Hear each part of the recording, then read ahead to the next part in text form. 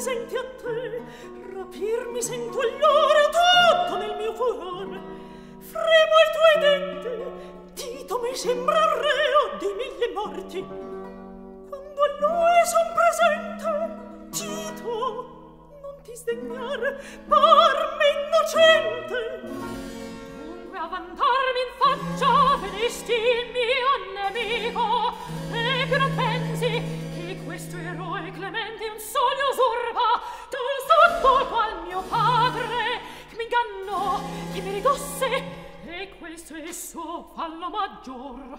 Quasi ad amarlo e poi perfido e poi di nuovo te richiamar benedice oh, principessa sei gelosa io sì gelosa io sono se non sovra un disprezzo. Pure. Pure non hai corda questarmi. A me non manco più degno eseguetor dell'odio mio. Sentimi intesi assai. Fermati. Addio non mi taglia a mio nome. Non parte dove vai?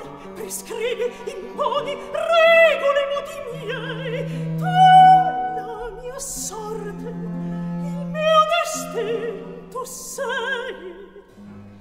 Prima che il sol tramonti voglio dico sperato e voglio amico Cesare se ti chiama. Ah non perdetemi questi brevi momenti a benefice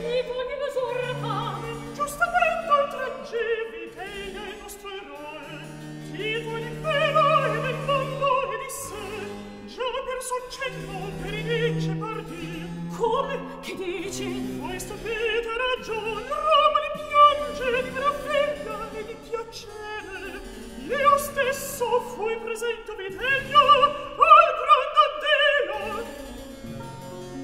e pur forse con me quando crede di tu ingrato non è. Sesto sospetti eseguire i miei cenni e tu ancora amatore tu non vuoi che venga che ch'io mi dagno crudele or che vedesti di che ti puoi lagnare demonia eh, oh Dio che provò mai tormento uguale al mio.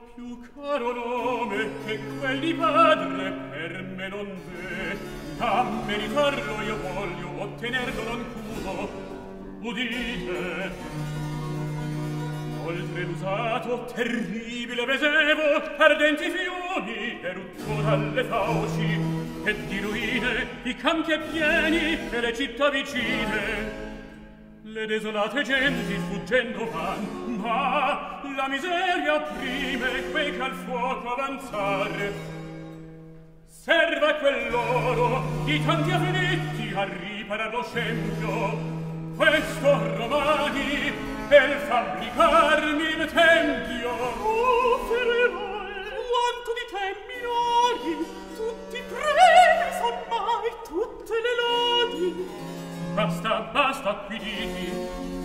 come s'avvicini, angio, non parta, ogni altro s'allontani. Adesso sesto parla per me.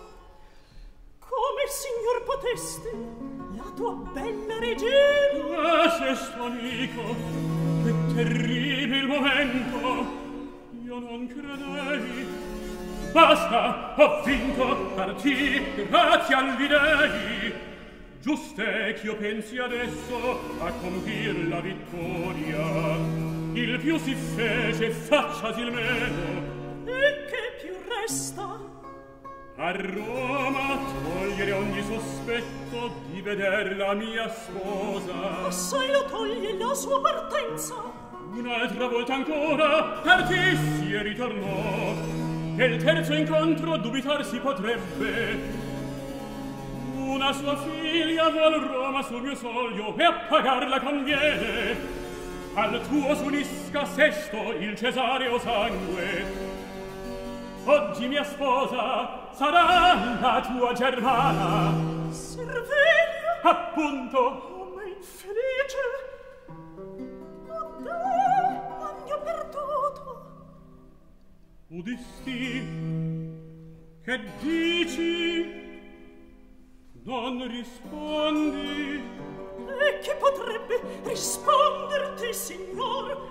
Mio primo assegno la tua bontà, che non ho cuore, vorrei se sto in pena per me. Spiegati, io tutto farò per tuo vantaggio. Oh, se serve la vita, mio coraggio. Tito Augusto io conosco, ma sia di sesto il cuore e di se stesso modesto estimator teme che sempre sproporzionato e dono e non so s'avvede ogni distanza egualia ed a Cesare il ma tu consiglio da lui prender non dei virtù bellezza tutto servia io ne conobbi in volto che era nata regnata presagi l'andepimento e questo a mio parlo così. Sogno o son desto? Ebbene re cari a lei agno tu la novella. E tu mi segui amato sesto. Avrai meco cotal parte tu ancor del sogno e tanto t'innalzerò che resterà ben poco dello spazio infinito che fra poter lei sesto e tito Questo è troppo, signor. Modere almeno, se in gradi non c'è vuole. Modere Augusto, i benefizi tuoi. Ma che, se mi niegate, che beneficio sia, che mi lasciate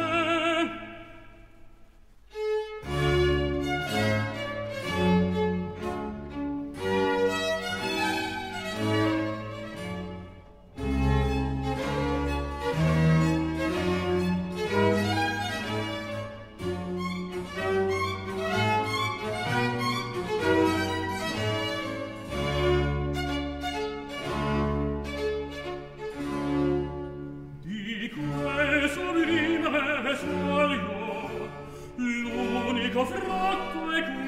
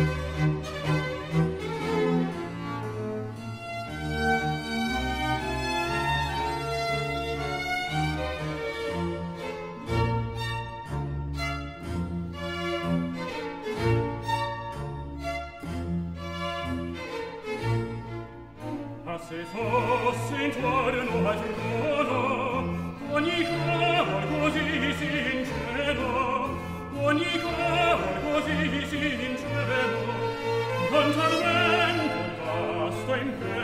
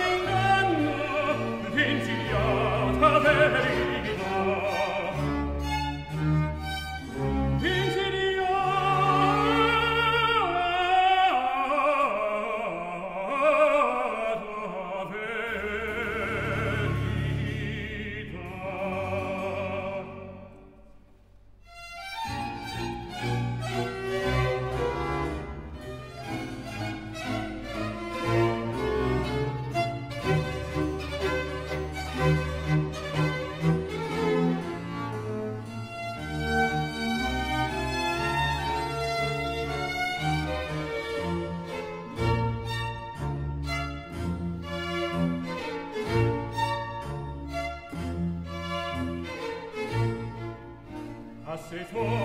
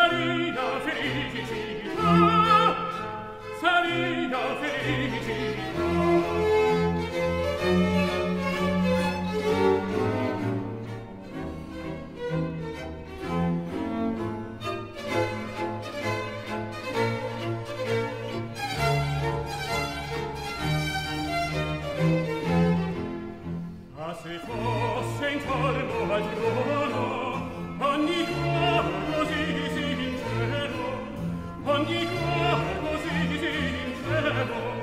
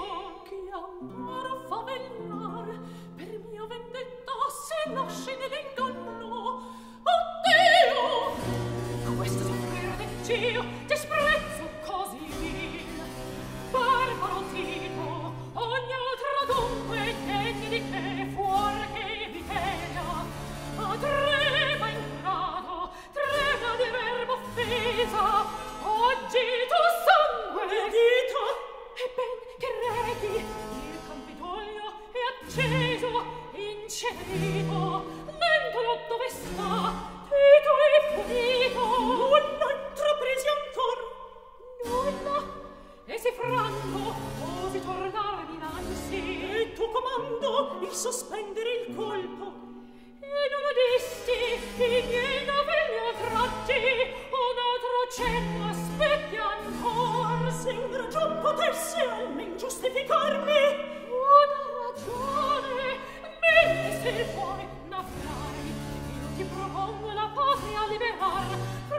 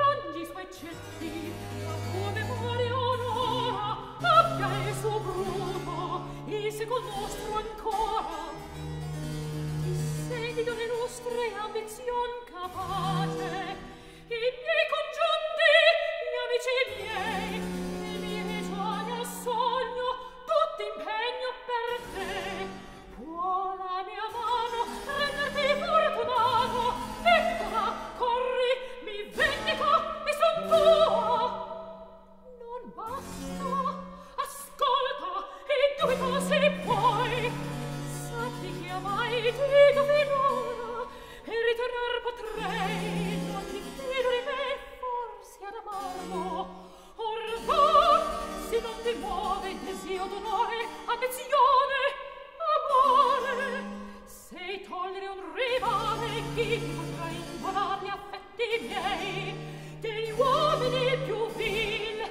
Dirò che sei. Quanta via da salirmi. Basta basta non più vedrai fra poco ardere il campidoglio. E questo giorno il sette deta